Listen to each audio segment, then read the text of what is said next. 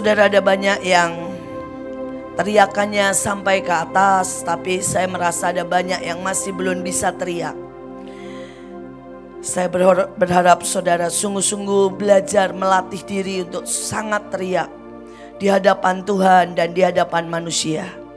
Mungkin saudara berkata, "Bu, saya baik-baik saja." Itu hidupmu, saudara. Dan jangan salahkan Tuhan. Kalau tuntutan demi tuntutan daripada iblis berteriak jauh lebih keras daripada saudara teriakanmu di hadapan Tuhan. Sekali lagi, saya berharap teriakan minta ampun kita memadamkan semua tuduhan iblis. Bisa mengerti? Dan saudara harus bisa teriak lebih dari keras, lebih dari tadi. Saudara harus bisa teriak berkata, Tuhan ini kegilaanku. Tuhan, ini kemunafikanku. Sampai rasanya tiap sel tuh teriak. Sejujurnya saya belum, saudara saya belum merasa sebagian ada beberapa. Tapi 50% berteriak itu masih di otak belum setiap sel teriak. Dan saudara harus belajar untuk sampai teriak setiap sel. Dengan berkata Tuhan ciptakan lagi. Ampuni. Lepaskan. Cabut. Apa pun. Ya. Oke sekarang kita masuk yang ketiga. Saya berharap apa pun yang kita buat tadi, saudara itu harus buat itu di rumah. Tadi itu mungkin ya saudara ya kalau saya boleh jujur. Mungkin akan melepaskan 10%. Cuma 10%. Saudara bilang bu, nah 90% ya urusan saudara. Loh sampai hari ini loh saudara. Saya masih nengkingin diri saya sendiri.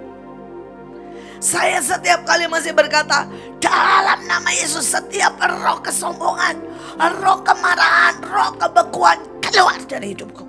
Kutuk nenek moyang, perzinahan, cinta uang. Apalagi cinta uang tuh saudara. Saudara saya ini diberkati Tuhan sih. Tapi Mahanaim itu kan butuhnya haleluya puji Tuhan. Jadi setiap kali berkat itu sering kali saudara cuma keluar gitu loh, cuma ngalir gitu ya. Cuma lewat saudara. Ndak, ndak nyampe. Maksudnya bukan ndak nyampe, ndak apa itu? Ndak ngumpul, bukan ndak nyampe, ndak ngumpul. Saudara nanti kalau saudara ya sudah keluar lagi, keluar lagi gitu. Di dalam terus lagi aduh. Ini Mahanaim kenapa sih keluar terus gitu ya. Pengen banget ngumpul. Nah setiap kali saya sudah mulai tahu saya mulai pengen ngumpulin saya harus beresin lagi. Saya patah-patahin roh cinta uang. Dan saya suka ngomong begini sama saya tuh paling sering ngomongin diri saya tapi sembari ngoceh sama burut. Uh, saya bilang gini, ini duit keluar terus. Saya bilang begitu. Terus saya bilang ini, dan saya lagi nggak tahu diri. Saya bilang, saya merasa saya ngasih mahanaim. Padahal itu uang dari Tuhan dan kalau saya keluarkan semua buat Manaim, itu normalnya. Itu yang benar, betul kan? Kalau saya pengen nyimpen, namanya seluruh hawa saya adalah korupsi. Bisa ngerti? Tapi saudara nggak ada yang mikir kayak saya kan? Saya mikirnya selalu begitu. Jadi saya akan ngomong sama buruk. Gue lagi teriak-teriak nih. Supaya nggak cinta uang. Saya lagi teriak-teriak karena saya lagi pengen korupsi. Ngambil berkat Tuhan buat kepentingan diri saya sendiri. Saudara Ibu Ruth suka bilang begini, Bu, apa yang Ibu anggap mesbah? Saya bilang, nah itu susah. Kalau saya ini dimaki orang, saya berpikir, yes, setidaknya ada batu bata di surga. Jadi buat saya bukan mesbah. Kalau saya ngerawat saudara, setiap kali minta ampun ngomel. Buat saya itu pekerjaan. Kalau enggak saya enggak ada kerjaan. Kalau saya enggak ngomelin saudara kan enggak ada kerjaan saya. Jadi buat saya itu juga bukan mesbah. Kalau saya nyembah Tuhan, ya, buat saya itu juga bukan mesbah. Karena itu demi kesembuhan saya. Saudara tahu gak sih kalau saudara masuk dalam hadirat Tuhan, saudara tuh kayak diinfus.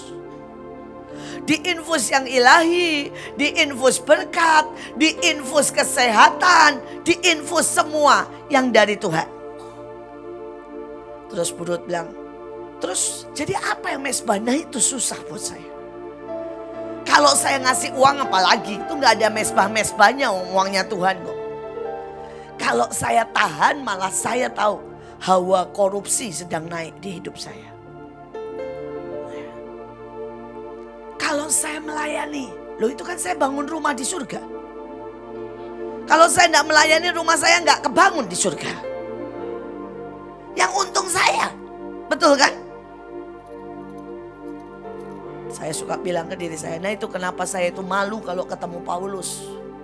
Malu kalau ketemu yang lain, karena saya nggak punya mesbah. Dan kalau saya berani minta gini, Tuhan, saya pengen mesbah kayak hamba Tuhan lain masuk penjara. Saya nggak berani juga. Saya takut masuk penjara, saudara. Kalau saya minta kayak bayangin ya, Hedi Baker aja saudara ya.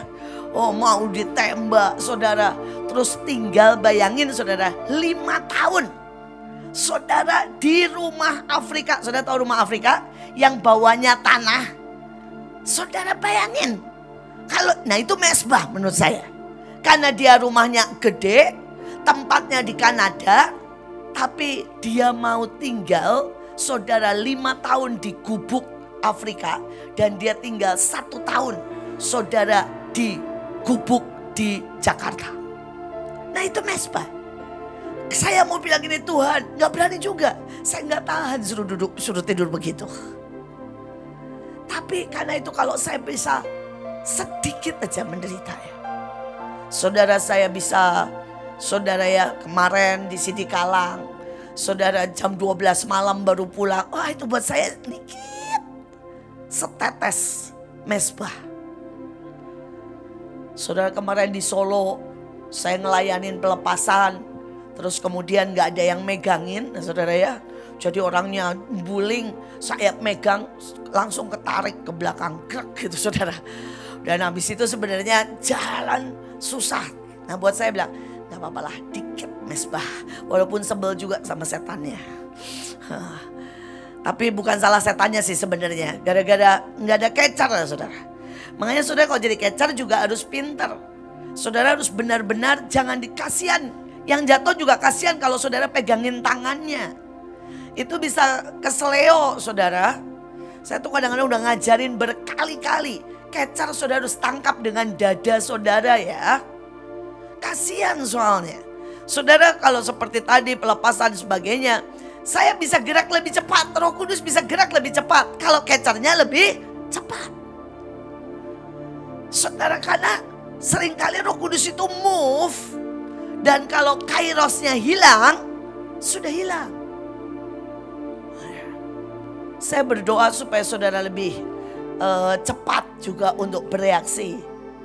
Saudara lebih cepat untuk menarik, mengambil. Nah sekarang kita sekali lagi ya. Jadi yang tadi dua harus dilakukan setiap hari.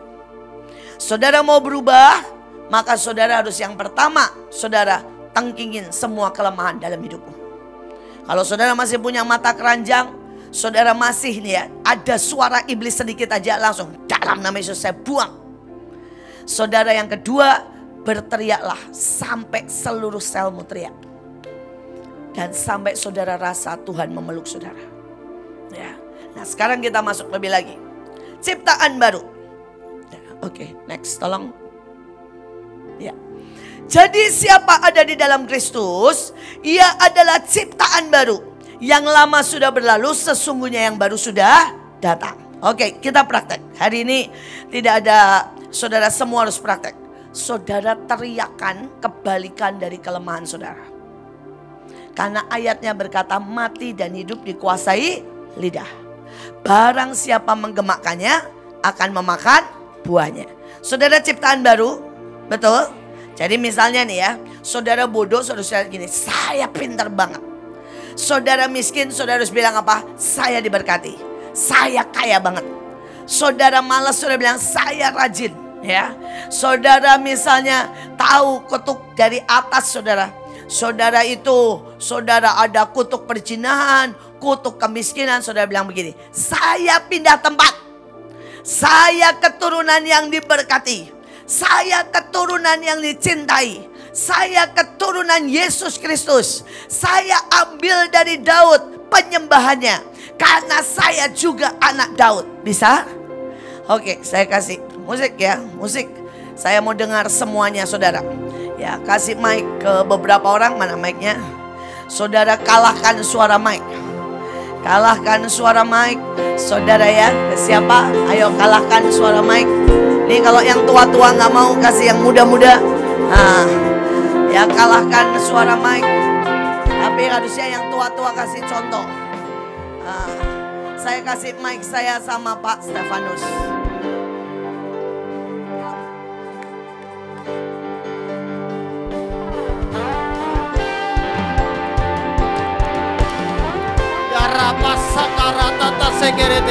Saya adalah seorang pemenang. Saya adalah seorang yang disucikan dan dikuduskan oleh Tuhan.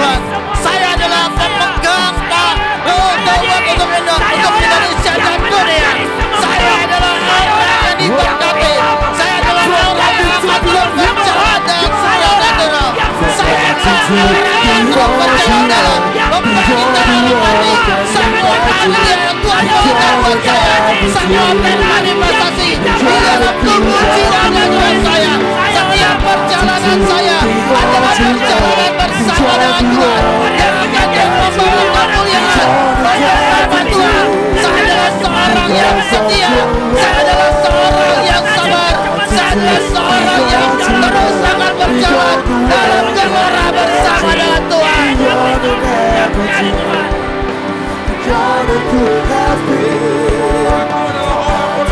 Saya adalah seorang pemimpin ajaib. Saya adalah keturunan Yesus Kristus. Saya adalah keturunan dari Daud, dari Abraham. Dan saya mewarisi kelapangan, keajaiban. Dan saya mewarisi penyembahan yang masuk ke dalam ruang kudus.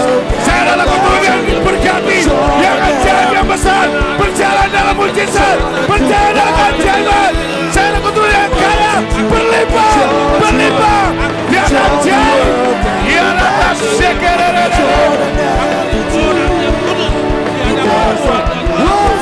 Saya adalah orang yang terus berjalan dalam supernatural. Kehendak Tuhan yang jadi atas hidup kami dan semua rencana Tuhan tergenapi sampai dari Sahib Tuhan Mahanaim.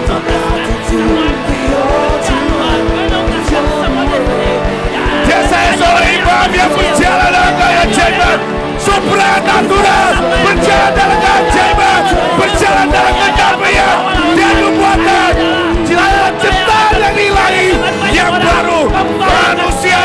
Manusia Tuhan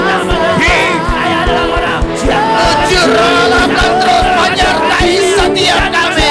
Karakter Kristus akan terus ada bersama kami.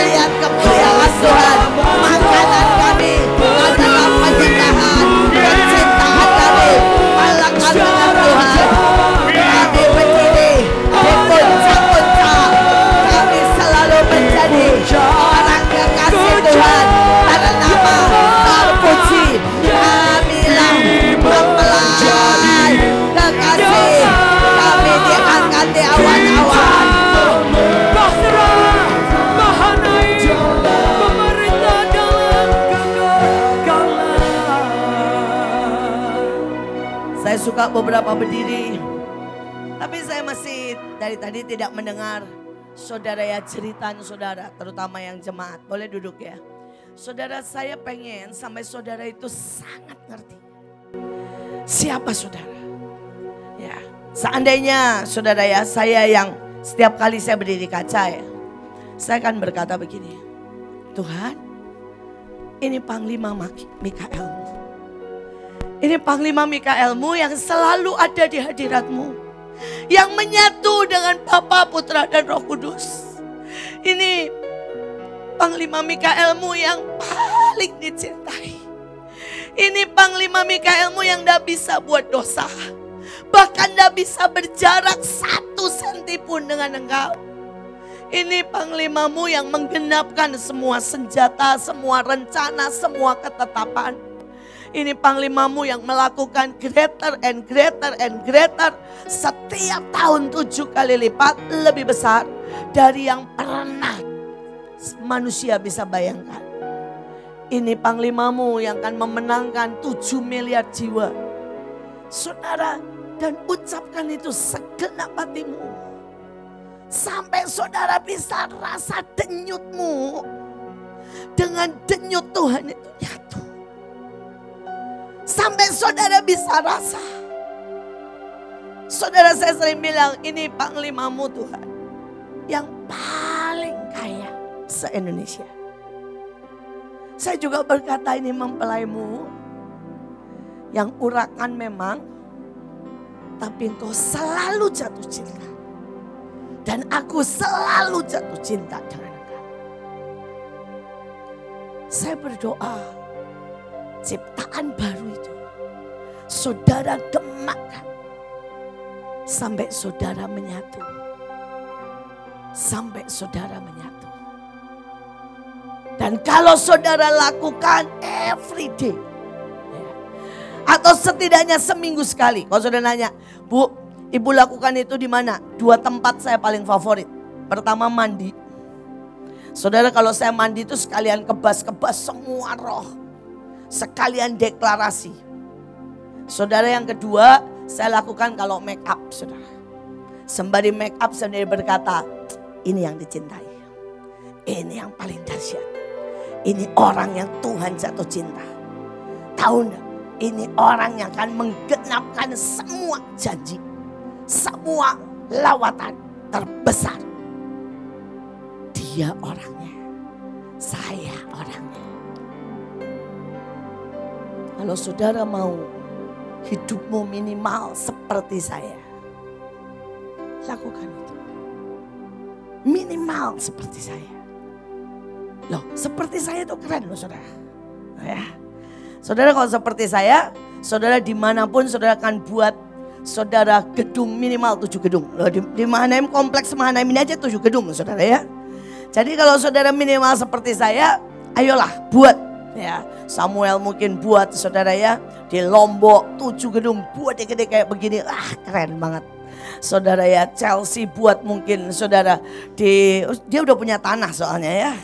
Mana itu tanahnya Joglo atau mana itu uh, ya buat gedung dan isinya lawatan petani-petani semua joget saudara. Saudara saya berdoa ciptaan baru sampai saudara mengerti itu. Saudara misalnya nih, saudara ini nggak terlalu pinter lah. Saudara ngomong, eh ini si jenius. Ini si jenius. Ya. Yang ada di depan kaca ini si jenius yang menangkap hikmat Tuhan. Awal tahun terutama saya berdoa saudara fresh start ya. Ini uh, ciptaan baru tapi saudara ayatnya dari The Message berkata gini. Kita melihat yang di dalam dan yang kita lihat siapa yang bersatu dengan Mesias. Makanya saya suka selalu berkata kerinduan saya pertama adalah menyatu dengan Bapa, Putra dan Roh Kudus. Kenapa lagu ciptakan lagi? Saudara saya cuma bilang saya mau menyatu. Karena begitu menyatu semuanya beda. Ya ini menyatu yang saudara bisa bayangkan aja begini ya. Menyatu pertama ini level terendah dari menyatu ya. Itu adalah pernikahan. Ini seandainya nih ya, uh, saudara ini miskin, saudara menikah sama orang kaya. Hmm, ya.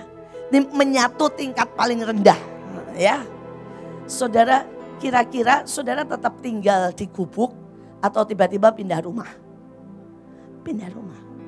Ini tingkat menyatu paling rendah. Saudara. Kira-kira habis itu bajumu jelek atau tiba-tiba bajumu wah mahal-mahal. Mahal-mahal. Ini tingkat menyatu paling rendah. Saudara tapi tingkat menyatu lebih tinggi itu kalau dukun ya Saudara itu menyatu lebih tinggi lagi dikit. Saudara kalau dukun atau lihat Sholin ya. Gitu saudara ya. Saudara tiba-tiba, saudara kalau di saudara ya menyatu dukun itu kan saudara tiba-tiba bisa ngangkat, bisa menghentikan hujan. Nah itu menyatu, itu tingkat dua. Ya, lebih lumayan. Saudara tahu menyatu tingkat tiga? Pernah lihat film Exorcist? Film kesurupan Ya, saudara itu kepala bisa muter 360 derajat. Saudara bisa terbang. Saudara kemudian tiba-tiba saudara ya, saudara bahkan tidak lagi. Saudara suara berubah, semua berubah. Saudara pernah lihat helek? Ya itu menyatu dengan radiasi. Wah, saudara ya. Saudara itu menyatu tahap tiga. Ya. Menyatu level terakhir Sampai tidak bisa dibedakan. Tidak bisa dipisahkan. Sudah benar-benar blend. Itu seperti siapa? Bapak, Putra, Roh Kudus. Seperti tubuh, jiwa, roh nyatu. Kan sudah tidak bisa gini. BK ngomong misalnya, terus saya bilang ini. Ini yang ngomong rohnya, atau jiwanya, atau roh atau tubuhnya. Kan tidak bisa, betul? Jadi satu. Saya berdoa saudara mengerti. Ayatnya berkata, ya. Lihat kita. Ini siapa? Siapa yang menyatu dengan Mesias. Amin. Sampai seperti itu. Siapa pun yang menyatu dengan Mesias menerima awal yang baru, fresh start. Saudara jadi berapa lama pun saudara ada dalam dosa, Saudara begitu menyatu, saudara mulai yang baru. Start. Saya setiap kali pagi, saya cuma bilang ini Tuhan, hari ini saya menyatu dengan Engkau. Jadi kesalahan kemarin, masalah kemarin selesai. Saya menyatu, fresh start. Ya. Saya berdoa saudara merenungkan lagi nanti. Ya, ia diciptakan baru, Kehidupan yang lama sudah berlalu, yang baru berkembang. Nah, saudara kalau menyatu itu selalu berkembang. Saudara tidak bisa suami istri kalau benar-benar hidup pernikahannya beres. Makin hari makin mirip satu sama lain, betul kan? Saudara makin hari cara mikirnya makin mirip. Saudara. Saudara walaupun saya ini sama Pak Paul, saudara ya. Seleranya beda jauh sebenarnya. Gayanya beda jauh. Tapi kami sudah menikah 38 tahun. Saudara karena sudah 38 tahun, saudara mau tidak mau. Banyak yang mirip. Saudara Pak Paul itu dulu tidak pernah tidur siang. Saudara saya jago tidur siang, dia tidak pernah tidur siang. Saudara dia selalu bangun pagi, saya bangunnya siang. Nah, ya, saudara ada banyak hal lah. Tapi sekarang saudara dia suka tidur siang. Setiap kali kalau saya hari Minggu di rumah gitu ya dia akan teriak-teriak gini, ayolah temenin tidur siang lah katanya ya. Saudara kenapa? Tiba-tiba dia mirip saya. Saya mirip dia. Saudara dia dulu tidak suka keju. Tapi saya penggemar keju. Lama-lama dia suka saudara. Saudara sebaliknya saya ini sebenarnya nggak suka babi saudara. Sebenarnya aslinya. Saudara karena keluarga saya sebenarnya jarang banget masak babi saudara. Ya. Tapi Pak Paul ini hobi perbabian saudara. Wih, segala macam babi lah. Ya bahkan dulu kalau mama saya masak babi kecap saya cuma ambil sedikit sekali karena saya ini nggak sebenarnya nggak nggak suka babi. Tapi lama-lama karena serumah, saudara suka. Ya. Jadi sekali lagi, kalau saudara menyatu itu lama-lama kan selera Tuhan, hati Tuhan, cara mikir Tuhan, semuanya sama sama kita. Amin. Oke ya kita lewat dulu. Saudara kita sekarang uh, saudara. Filipi 2 ayat 5. Nah. Hendaklah kamu dalam hidupmu bersama menaruh pikiran dan perasaan yang terdapat dalam Kristus. Nah, tiap pagi tiap pagi kalau saudara ini mau next level ya, saudara bilang begini, saya terima pikiran dan perasaan Kristus. Oke, yuk sama-sama tumbang tangan di kepala. Kami terima pikiran dan perasaan Kristus. Mulai hari ini cara kami berpikir adalah pikiran Kristus. Kami tolak pikiran bodoh, pikiran iblis, pikiran diri sendiri dalam nama Yesus. Dikelupas dibuang. Semua trauma, semua yang bukan dari Tuhan dicabut sampai ke akar-akarnya. Kami terima perasaan Kristus taruh di dada.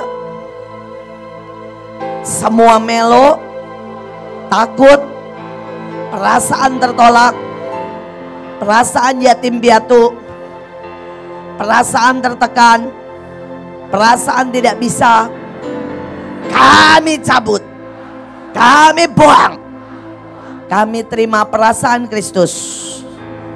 Sukacita, cinta, pengharapan, kemanisan, iman, kemuliaan, kesejatian di dalam nama Bapa, Putra, dan Roh Kudus. Kami berpikir seperti Kristus. Kami berperasaan seperti Kristus. Amin. Nah, saudara, setiap pagi, kalau tidak setiap malam, lakukan itu. Saudara di awal-awal, ya, kalau saudara itu mau memutuskan apa pun, belajar bilang begini. Ini ini Kristus yang berpikir enggak? Ini perasaan Kristus enggak? Saudara ya. Jadi di awal-awal saudara harus begitu. Misalnya gini ya. Saudara mau ngomel, saudara bayangin gini, Kristus kira-kira ngomel nggak ya? Ah, enggak. Saudara mau kesel, Kristus kira-kira kesel nggak ya? Saudara mau pelit, Kristus kira-kira pelit nggak ya? Saudara setiap saat harus mulai berpikir seperti itu. Kemudian kalau ambil keputusan, saudara bilang ini Tuhan keputusanmu, pikiran Kristus. Pikiran Kristus. Ya. Saudara mulai dan nanti kalau saudara terbiasa ya. Saudara jangan berpikir bahwa saya tahu dan tiba-tiba gitu ya. Enggak, misalnya begini. Setiap bikin jubah, saya tuh nanya. Tuhan, jubah ini apa? Buat apa? Bagaimana? Misalnya waktu itu COVID, dekat-dekat COVID, di berdiri di. Nah, dan Tuhan suruh bilang gini, buat jubah nak, darah Yesus dari atas sampai bawah. Saudara dan Tuhan bilang harus ada bulu domba. Saudara, Tuhan bilang harus ada bulu domba. Tanda ketaatan. Saudara tanda pengorbananku. Saudara dan Tuhan bilang harus ada tudungnya. Karena battle, pertumpahan terbanyak. Itu selalu di kepala. Saudara dan Tuhan bilang harus ada tudung. Saudara dan kemudian Tuhan bilang harus ada senjata. Saudara ini senjatanya banyak saudara. Senjatanya banyak. Saudara dan senjatanya harus bersinar. Karena di aslinya saya lihat itu ini buah berkilau dan keluar saudara ya. Saudara berkeluar. Karena nggak ada di dunia, uh, di dunia kita pakai yang spotlight aja. Saudara dan itu hal kecil silahkan. Saudara ini ada kalau saudara tahu ada mutiara-mutiara, saudara ini lambang jiwa-jiwa. Sampai miliaran jiwa-jiwa. Karena sampai nanti di surga, lambang pintu kerajaan surga adalah muti, mutiara. Nah, saudara setiap kali saya nanya. Dan setiap kali saya bilang gini, Tuhan taruh pikiran Kristus. Kalau saudara mau dagang, mau kerja, mau bangun, saudara harus terus bilang, Tuhan taruh pikiran Kristus. Nanti tiba-tiba saudara akan punya ide sangat banyak. Ya. Tiba-tiba saudara akan sangat, saudara ya, kreatif. Karena saudara punya pikiran Kristus. Loh saya kalau setiap kali duduk gitu ya.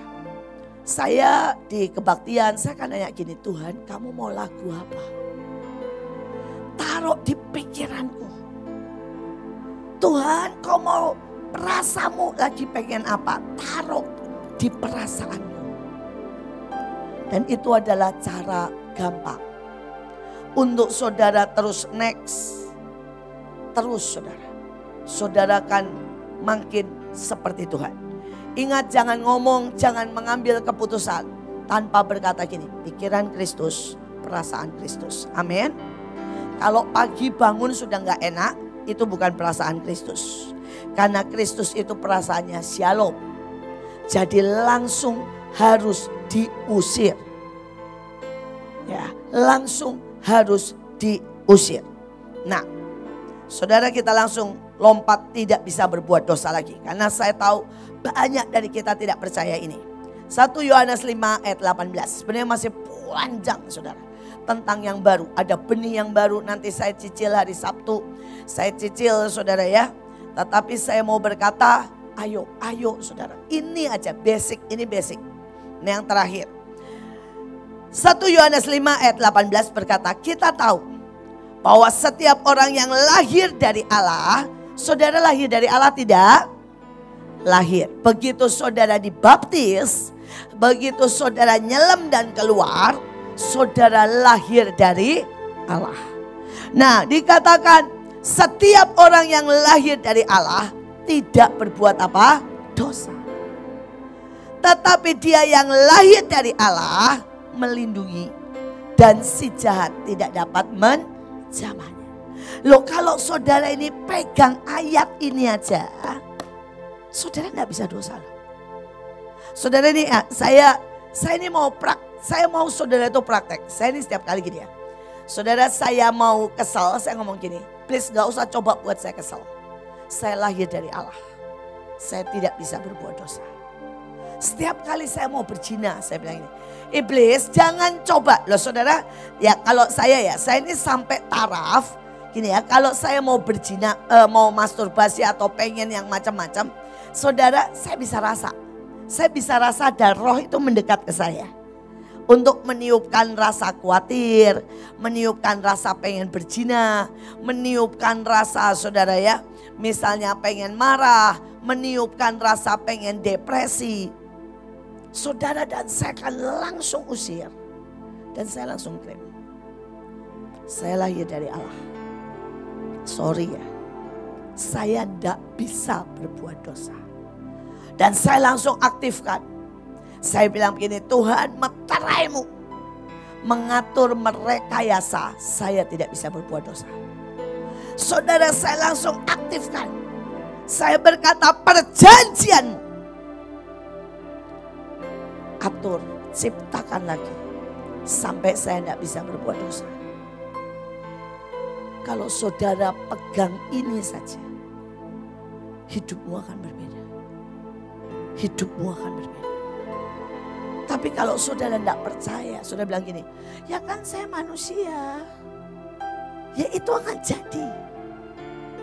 Saya punya kelemahan dari nenek moyang, ya itu akan jadi. Saya kadang-kadang sampai bilang ke beberapa orang. Ada cewek-cewek yang bilang begini. Ya saya dipegang sama pemimpin saya. Ya lu yang salah. Ada pemimpin yang bilang begini. Ya saya papa saya begitu. Hei papa lu udah mati. Udah gak usah disiang, gak usah disinggung-singgung. Saudara opa saya berzina, nenek saya berzina, papa saya berzina. Tapi saya sudah ambil keputusan. Saya ciptaan baru. Saya manusia Allah.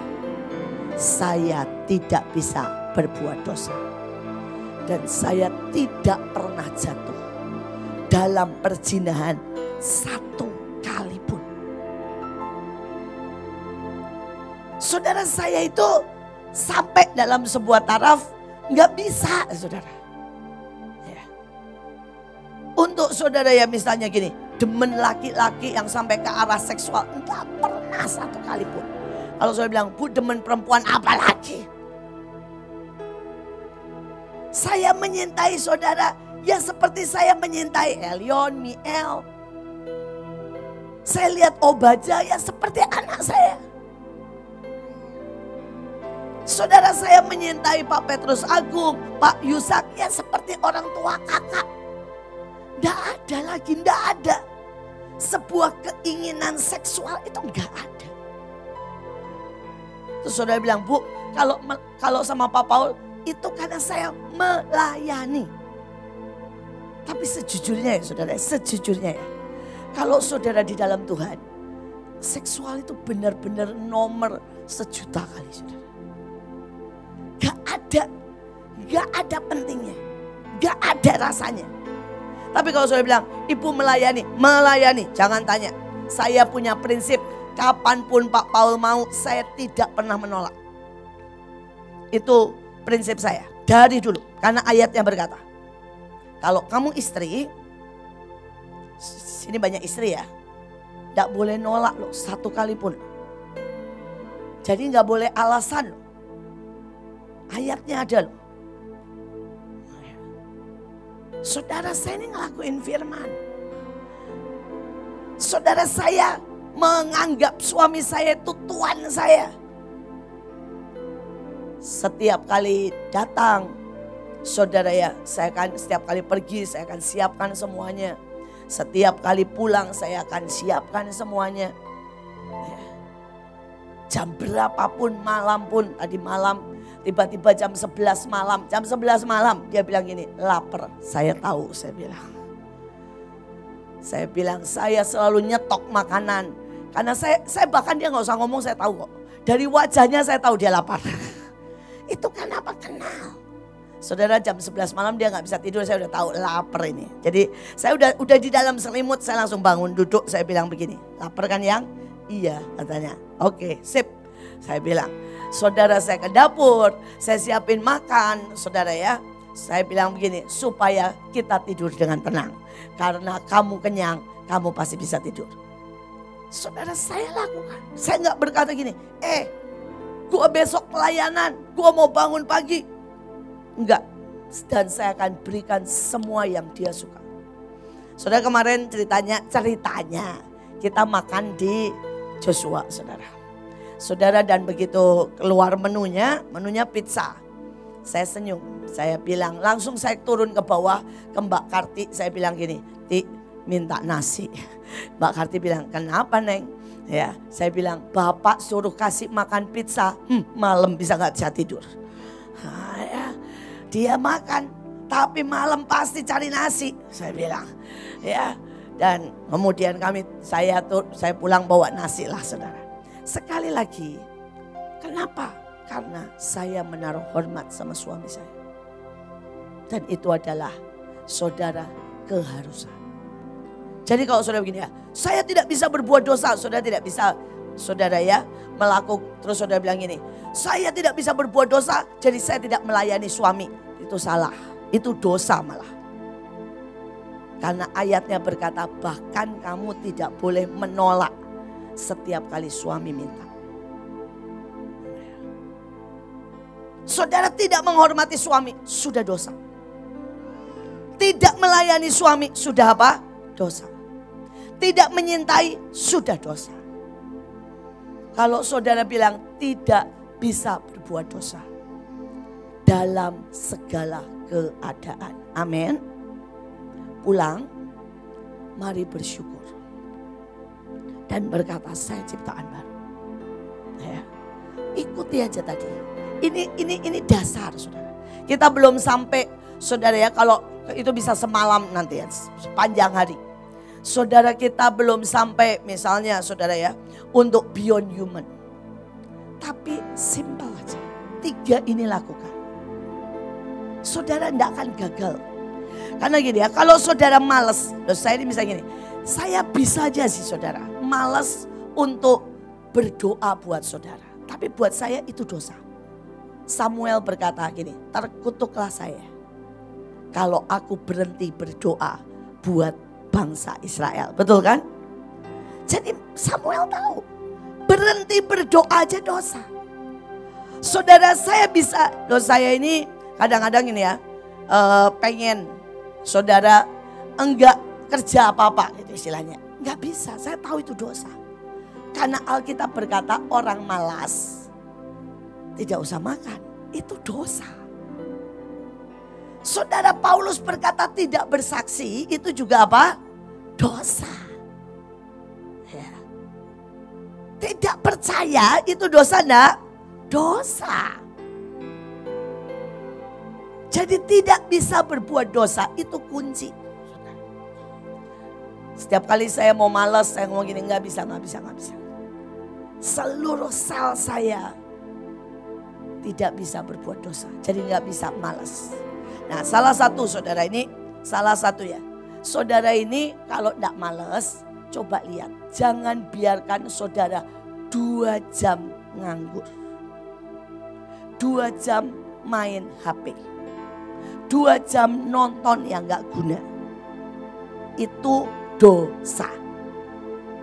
Nah, kalau sudah bilang, Bu, terus gimana? Coba mulai ya, coba. Ini cara yang saya buat. Jadi setiap pagi saya itu kasih jadwal itu per dua jam. Saudara saya misalnya gini, dua jam saya baca Alkitab nyembah. Dua jam saya konseling, dua jam di perjalanan, saya hitung, saya hitung. Kalau ada waktu kosong, saya akan pakai panggil beberapa orang konseling. Misalnya nih jam 12 nanti saya udah janjian nih. Banyak orang yang minta dilayanin pelepasan tapi lewat telepon, lewat video call. Saudara, saya sudah jadwal nanti dari jam 12 sampai jam 2. Ya. Saudara, kalau lagi ada waktu kosong, saya sudah langsung. Saudara, ini waktu kosong saya ambil. Buat saya apa? Dengerin khotbah David Kolengda, saudara ya Hedi Becker, saudara Cindy Jacob. Saudara why? Karena saya harus terus ada dalam satu unity global seluruh dunia. Saudara kalau sudah mau dengarkan yang uh, nubuatan-nubuatan, saudara juga bisa dengarkan TED saudara ya. Punyanya saudara khusus nubuatan-nubuatan dan yang ajaib-ajaib. Saudara banyak itu saya kadang-kadang pengen dengar kesaksian dan keadaan di dunia ini. Saudara saya akan buka saudara suara misi. Saudara dan itu seluruh dunia ada kesaksian orang Arab, orang Iran. Ya. Saya tahu tidak bisa. Tapi jangan pikir cuma itu ya. Saya ada waktu kosong, saya buka, saya itu tetap belajar bahasa Inggris loh sampai sekarang. Saudara saya dengerin yang murah meriah saudara ya gratis. Yang bahasa Inggris artinya dan cara mengucapkannya. Saya ucapin satu-satu. Saudara mau berkata, why? Siapa tahu tiba-tiba Tuhan panggil saya ke luar negeri dan saya ketemu orang yang harus saya berbahasa Inggris. Saya mau saudara upgrade. Saya tetap belajar jahit, tetap saya setiap kali belajar ini polanya bagaimana ya supaya saya bisa ngomong, supaya bisa upgrade jubah-jubah. Saya tetap belajar tarian. Ya, saya lihat saudara saya tetap belajar politik. Saya tetap belajar ekonomi. Karena saya tahu kita terus harus upgrade untuk masuk dalam rencana Tuhan. Saya berdoa hari ini saudara setidaknya lakukan tiga ini. Lakukan mulai dari patahkan semua yang bukan dari Tuhan. Kemudian teriak, sungguh-sungguh teriak. Sampai sel kita ini teriak. Dan kita menyatu dengan Tuhan. Yang ketiga, deklarasikan siapa saudara. saudara ciptaan baru. Amin. Yang keempat, setiap pagi pikiran dan perasaan Kristus. Amin. Saudara nggak akan buat kebodohan. Saudara nggak akan utang. Kalau saudara bilang ini, bu saya utang pasti bukan pikiran Kristus. Ya. Saudara berkata, bu saya jatuh dalam dosa. Berarti saudara tidak gemakan bahwa saudara ciptaan baru. Bahwa saudara tidak bisa berbuat dosa. Amin.